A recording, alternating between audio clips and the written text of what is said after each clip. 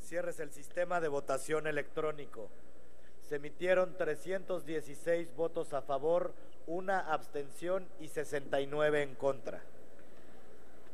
316 votos aprueban en lo general y lo particular el proyecto de decreto que reforma los artículos 417 y 444 del Código Civil Federal y el artículo 323 del Código Penal Federal.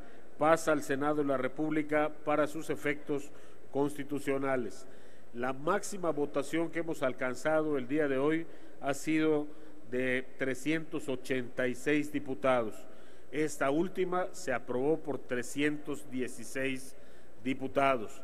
Hago esta observación a efecto de que los grupos parlamentarios tomen las medidas correspondientes con relación al quórum.